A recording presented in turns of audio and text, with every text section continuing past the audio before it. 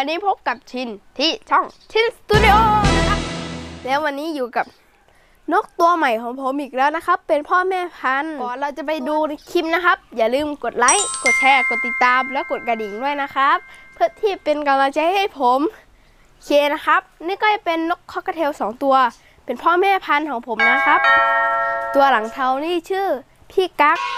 ตัวหลังสีเทาแต่ว่ามีสีเหลืองด้วย ตัวนี้ก็เป็นตัวเมียนะครับ ชื่อน้องมุกนะครับ ก็ประมาณอายุได้ 2 ปีแล้วนะครับ จะได้เป็นพ่อแม่พันธุ์แล้ว วันนี้เราจะมาต้อนรับสมาชิกใหม่นะครับตบมือให้สมาชิกใหม่หน่อยทำไมไม่ได้ยินเสียงเลยอะครับตบมือโอเคครับ เดี๋ยวเราจะไปดูลักษณะนิสัยของนกคอกกระเทลกันเลยนะครับ ใครที่อยากจะเลี้ยงนกค็อกคาเทลก็ต้องดูให้จบคลิปนะครับ ถึงจะเข้าใจ โอเค เดี๋ยวเราจะมาพูดถึงข้อดีของนกค็อกคาเทลกันเลยนะครับ นกค็อกคาเทลก็คือเขาไม่ก้าวร้าว อ่อนโยน นกค็อกคาเทลนะครับมีเสียงที่เพราะมากร้องเพลงได้ ส่วนใหญ่นกค็อกคาเทลก็จะฟังเสียงเพลงเมโลดี้นะครับ อย่างเช่นตื่นเต้นเต้นเต้นเต้นเต้นเต้นเต้นประมาณนี้นะครับ ข้อเสียของนกคอกกระเทลนะครับ ก็จะมีน้อยมาก ก็คือนกคอกระเทลนะครับ เขาจะเป็นนกที่ตกใจง่าย ถ้าเอาไปบินที่อื่นแล้วเขาได้ยินเสียงอะไรแปลกๆ อาจจะบินเตลิดนี้ หายไปได้เลยนะครับ ข้อที่สองนะครับ ก็คือเขาจะงอนเก่งมากเลยครับ ถ้าเราไปทำอะไรให้เขางอนอย่างเช่นตีอย่างนี้นะครับ ก็งอนเป็นสัปดาห์ได้เลยนะครับ อย่างเงี้ยเดี๋ยวเราจะพาพี่กั๊กกับน้องมุกไปอยู่ที่บ้านใหม่ของเขาเลยนะครับ อันนี้เป็นบ้านชั่วคราว ในกรงนะครับก็จะมีถ้วยน้ำถ้วยข้าวค้อน แล้วก็ถาดผัก แล้วก็ถาดผลไม้นะครับ ก็น่าจะมีประมาณนี้เอ้ยเดี๋ยวก่อนนะครับ ที่สำคัญเลยนะครับก็จะมีรังนะครับ อันนี้ก็จะเป็นรังสำหรับให้พี่กั๊กกับน้องมุกนะครับ เข้าไปนอน แล้วถ้าน้องมุกเขาจะออกไข่ก็สามารถมาฟักไข่ในนี้ได้เลย รังของเขานะครับ ก็จะมีความใหญ่มาก เลยนะครับ เพื่อที่จะให้ลูกน้อยของเขาเดินได้อย่างอิสระ แล้วก็ให้แม่ของเขามาป้อนได้ Okay. เดี๋ยวเราจะพาพี่กั๊กกับน้องมุกนะครับ ไปอยู่ที่บ้านใหม่ของเขากันเลยไปแต่ผมต้องไปอย่างช้าๆไม่อย่างนั้นเขาจะตกใจนะครับ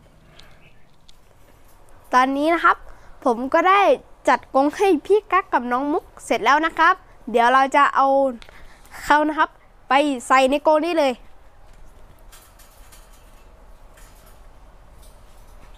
ค่อยๆหมุนครับ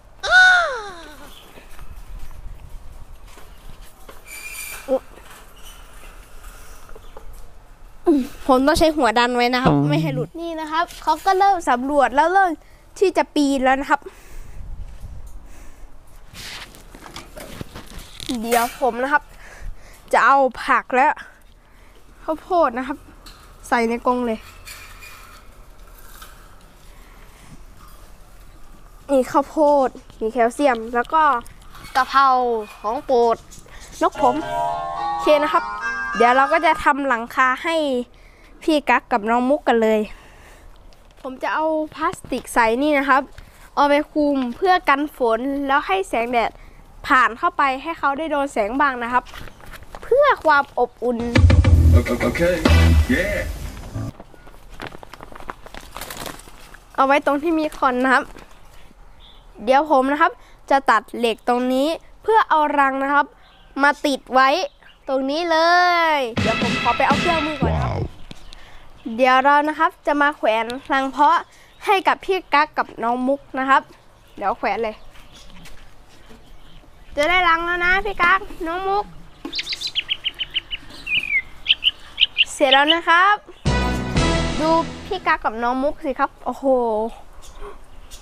รวมกันอยู่ด้านล่างนี่เลยนะครับ สงสัยกลัวโอเคนะครับ ใครที่ชอบนะครับก็กดไลค์นะครับสำหรับคลิปนี้นะครับ ก็เอาไว้แค่นี้ก่อนนะครับ มาดูกันใหม่คลิปหน้านะครับ ว่าผมจะทำอะไร วันนี้ผมต้องขอตัวลาไปก่อนนะครับ สวัสดีครับ บ๊ายบาย